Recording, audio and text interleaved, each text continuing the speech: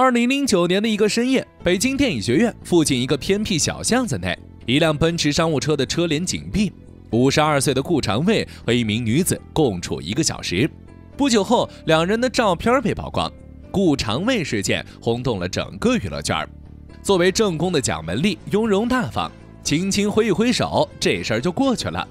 吃瓜群众们倒唠个没趣儿，然而这事儿真的过去了吗？一九七八年，原本在铁路工人俱乐部做检票员的顾长卫，在国棉厂当工人的张艺谋等等，从四面八方汇集而来，一起成为七八班摄影系的学生。前些年，曾有人问顾长卫考上北电之前到底结婚了吗？人家对外宣布的是当然没有。但是有人将一九七八年学生档案在网上曝光，顾长卫的资料中写的是已婚，呃，这是真尴尬。资料真假，咱们无从考证。但顾长卫认识蒋雯丽时三十二岁，蒋雯丽才二十岁，在那个年代，若说没结婚，顾长卫应该算得上是导演圈晚婚晚育第一人了。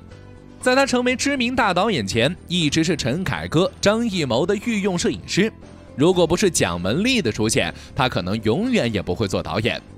年幼的蒋雯丽无意间在杂志上看到北京电影学院的招生广告。用一段惊艳的表演杀出重围，成为1988北影表演系学生。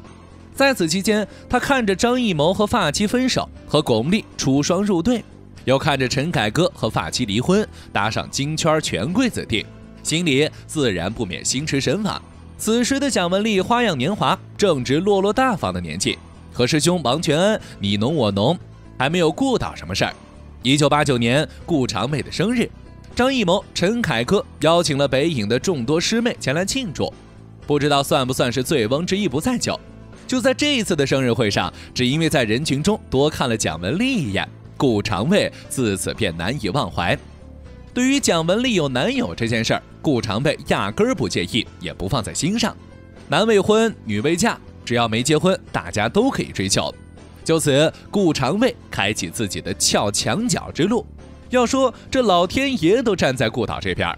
一九九一年，王全安被分配到西安电影制片厂，和蒋雯丽开启了异地恋。这段时间，顾长卫送礼送资源。当时，顾长卫正是电影《霸王别姬》的摄像，申请个演员空缺还是能做到的。据外界传言，顾长卫亲手将《霸王别姬》这个好资源送上，在剧组嘘寒问暖，潜移默化。等到电影播出后，蒋雯丽便和王全正式分手，和顾长卫谈起了恋爱，并火速步入婚姻殿堂。顾长卫也终于追上了哥哥们的步伐。有人说啊，当时的蒋雯丽之所以选择顾长卫，也是为了娱乐圈的人脉资源。若是其他导演们没有那些真爱，估计也轮不到顾长卫。在丈夫的帮助下，蒋雯丽迅速走红，接到了许多好资源。一举夺得了飞天奖、金鹰奖、金鸡奖最佳女主角奖，事业红火，步步高升。然而，随着妻子的火速发展，顾长卫却举步维艰。原来，他眼瞅着身边人的成就，自己也想试试能否一飞冲天。可惜折腾了好几年都一无所获，还得靠着蒋雯丽养家糊口。直到2003年电影《孔雀》，顾长卫大胆启用新人女演员张静初，电影播出大受欢迎。顾长卫算是转型成功。与此同时，他和张静初的绯闻传得沸沸扬扬。据传，两人还经常相约压马路。对于这个传闻，蒋雯丽自然也是有所耳闻，不惜带着一岁多的孩子去拍摄现场监工。知情人称，蒋雯丽还动手打过张静初。对于第三者嫌疑人毫不留情，不惜动用人脉想要封杀张静初。有些观众可能已经发现，明明张静初的演技这么好。怎么在二零一零年之后就销声匿迹了呢？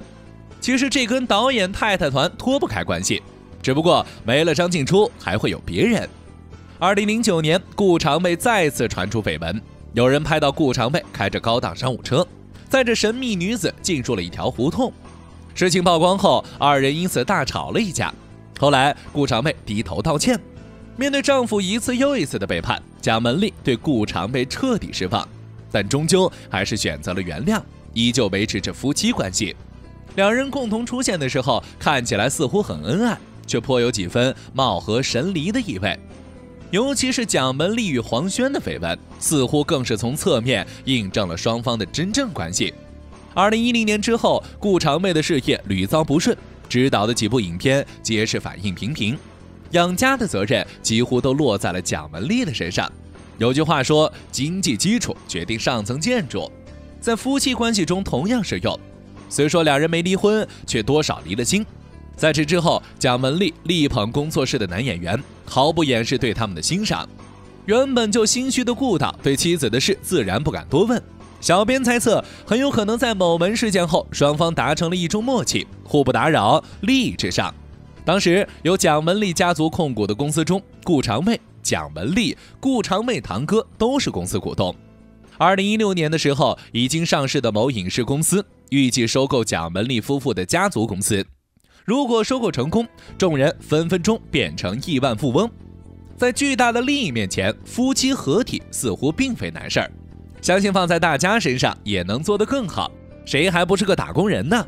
而蒋雯丽和男演员的绯闻，更是印证了他和顾长卫的真实关系。这一年，黄轩签约经纪公司，遇上了师姐蒋雯丽，两人携手出演电视剧《女人帮》。戏里，年轻的方格爱上了剩女朱莉。戏外，有关两人姐弟恋的消息甚嚣尘上，也许是为了再续前缘，也许是为了共赢。这一年，蒋雯丽、黄轩再次合作电影《白象》，影片中双方又一次上演姐弟恋的故事。